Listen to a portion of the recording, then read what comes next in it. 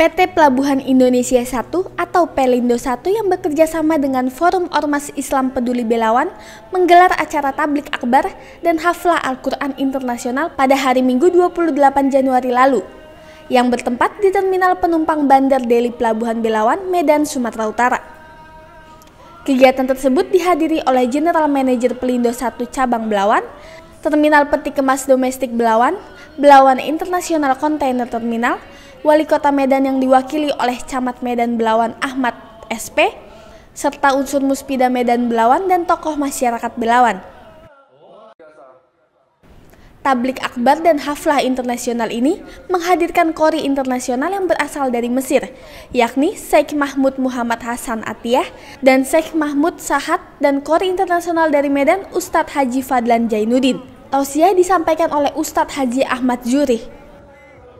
Kegiatan ini menjadi suatu wadah berkumpul untuk membangkitkan semangat kebersamaan persaudaraan muslim serta mempererat tali silaturahmi masyarakat muslim kota Medan dan Belawan. Dalam sambutannya, General Manager Pelindo 1 Cabang Belawan Yarham Harid menyampaikan terima kasih kepada seluruh masyarakat Medan dan Belawan yang hadir meramaikan tablik akbar dan haflah Al-Quran. Sekitar kurang lebih 2.000 masyarakat Medan dan Belawan hadir pada acara tersebut.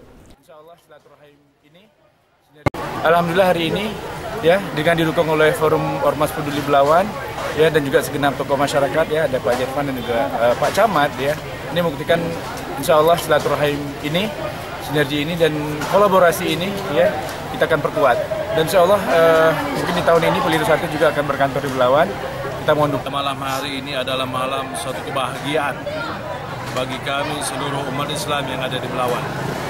Malam ini adalah malam keberkahan yang diberikan Allah yang dicurahkan kepada PT Pelindo.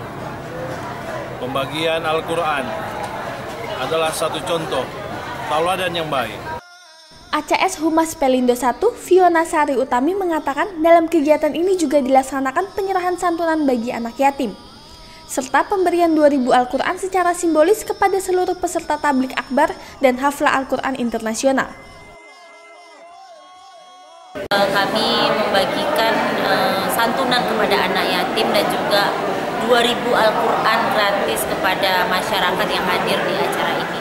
Namun bagi masyarakat yang tidak bisa mendapatkan Al-Quran uh, pada hari ini juga akan kami berikan uh, kepada masjid-masjid di sekitar Belawan.